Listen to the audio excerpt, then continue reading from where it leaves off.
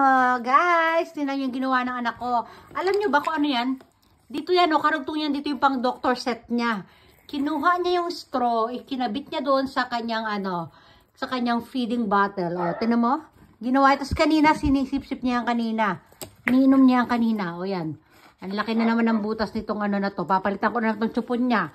Oh, ang talino, di ba? Oh, yung mga naiisip niya, oh, di ba? Happy ka, Ken? Happy? Happy. Oh, happy daw siya, oh. Oh, akin yan. Wash yun, eh, wash. Wash. So, akin na yan, ayan, oh. Oh, sinira niya. Ikinabit niya dito sa kanyang, ano, bottle. Oh, di ba? Oh. Oh, masaya ka na, na? Ken, look at me. Masaya ka na ba? Masaya? Siya. Masaya ako, sabi mo. Ako. Oh, very happy daw siya, oh. Ayan yan, no, yung doctor set niya, oh. ayan, ayan ang itsura niya. Ayan, oh. Yung hose na yan, yung kinuha niya yung hose. At ginawa niyang straw dito sa kanyang milk. O, di ba? Kane, good job. Siya. Good job, yes.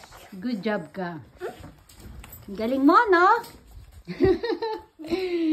Mga naiisip niya. Grabe yung talino nitong batang ito talaga. Grabe. Oh, Brandy. Kane, papasok na si Brandy. Open mo yan. Dali.